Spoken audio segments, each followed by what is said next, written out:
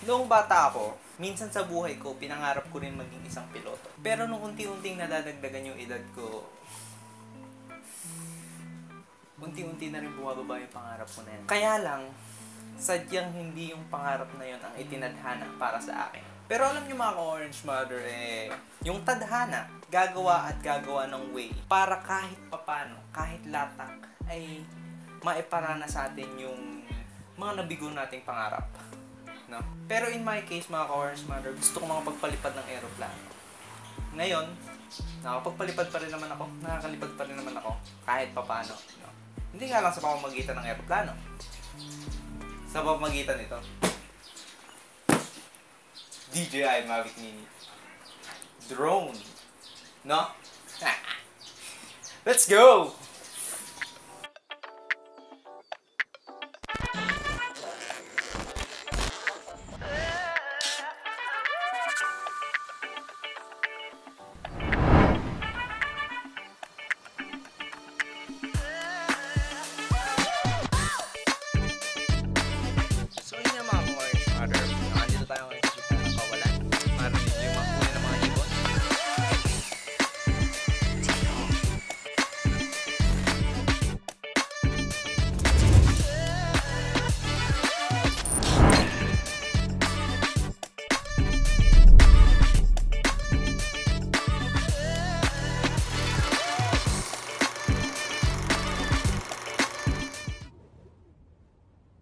So, hello hello po sa mga ka-orange. Mother dyan.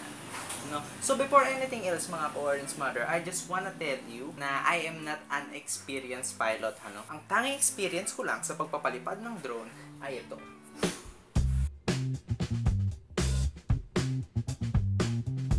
So mga orange mother, disclaimer lang ano, merong mga rules and regulation bago tayo makapagpalipad ng drone ano. Andyan yung link sa description no ah nung CAAP or Civil Aviation Authority of the Philippines no?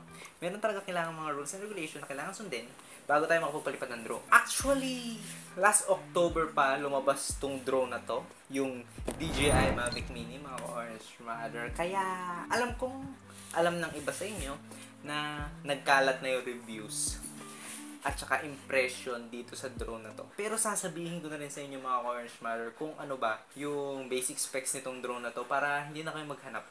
No? So out of the box mga ka-orange mother, pag binili nyo yung Flymore combo is yung makikita nyo sa loob ng box is the propeller guard, yung mga yung charger, yung tatlong battery na pagka binili mo ng separately, eh nagkakahalaga ng basta i-search nyo na lang.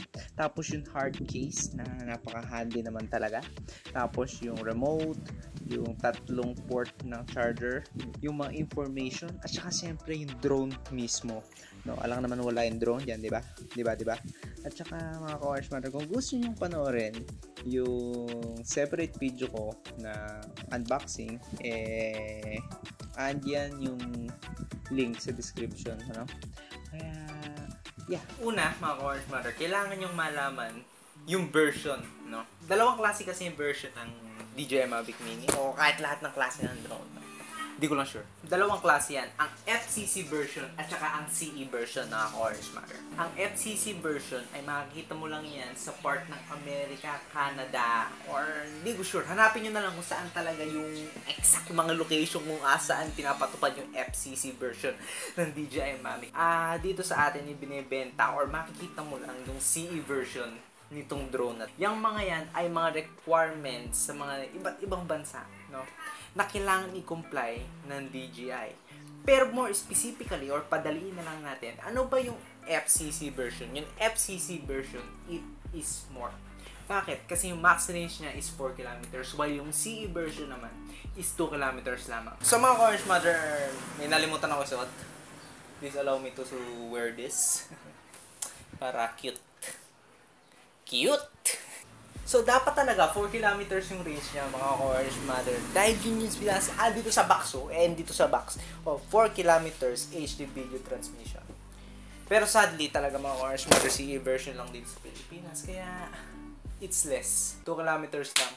Pero kung baguhang drone user ka, no, baguhang drone user ka, yung 2 kilometers is more than enough. Pero alam niyo mga orange mother, meron naman tayong nabibiling mga extender no? Para ma-extend. Of course, extender nga, di ba? Para ma-extend yung mga range nitong drone na to. Dami, dami sa Lazada. Nakakatakot magpalipad pagka, hmm, may pag-iingat ka sa gamit.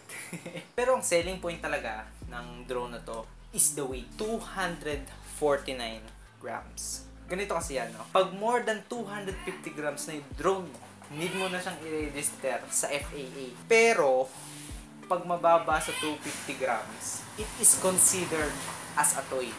Pa kaya para sa mga hobbies, hobbies mo lang talaga magpapalipad yan ng drone, no?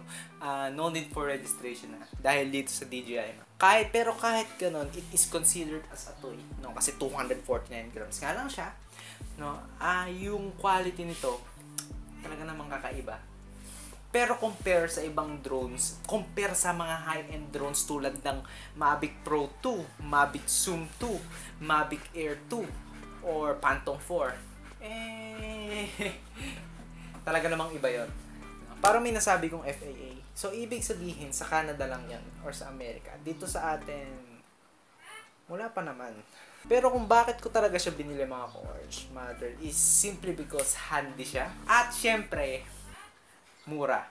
So, ang basic specs, no, ay meron siyang 3-axis gimbal, which is battery smooth. It can shoot 2.7K 30 frames per seconds. My God! 2.7K, boy! 2.7K. Alam mo kung gaano kalaki yun. Itong sinushoot kong camera to, 1080p lang maximum resolution yan by 30 frames per second. Ito yung 2.7K resolution. At ito yung 4K. Oh.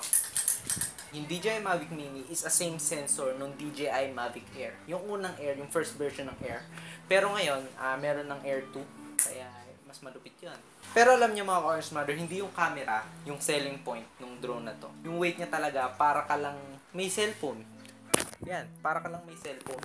At yung price niya, para sa akin yung price niya. Mura, pero mahal pa rin. Uh, search na lang kung magkano yung price nung Flymore combo at saka yung standard version. Pero para sa akin, no, uh, suggested ko sa inyo na mag Flymore combo na kayo kung balak nyo bumili ng drone. At kung balak itong Mavic Mini gusto nyo biling drone, no? mag Flymore combo na kayo kasi konti na lang dadagdag nyo. Ang dami ng accessories na kasama. Tsaka higit yan, tatlo na yung battery. Hindi ka na maghahanap ng battery. Malaking step up to para sa akin. No? Malaking upgrade to. DJI Mavic Mini para sa akin small time na geographer. No?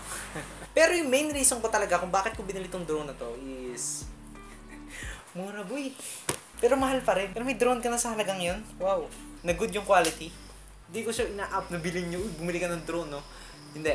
Pero mga ka-orange mother, no? Kung, kung may budget ka naman, no? At kumikita ka ng malaking halaga at hobby mo papapalipad ng drone at saka you're using drones as a professional, no? Pinagkakakitaan. Ang daming ibang drone dyan. Tulad nung Phantom 4, Mavic Pro 2, Mavic Air 2. No? High-end drones yun. No? Talagang mga solid yung level. Atin ang subukan tong... Oh, shit. Nang atin ang subukan yung drone na yan. Kaya tumatawag ako ngayon.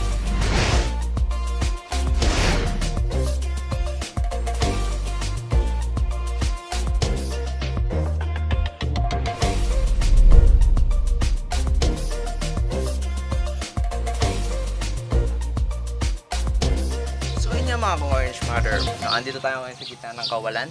Marinig nyo yung mga huni ng mga ibon. Tapos makikita nyo naman yung malawak na bukirin which is berdeng verde. At saka ito ang perfect place. Perfect place to para magpalipad ng drone para sa mga first timers.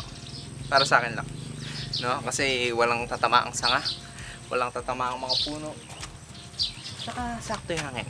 Kalaban lang natin dito mga ibon. So ano pa hinihintay natin? Layo ng binahe. B-roll time.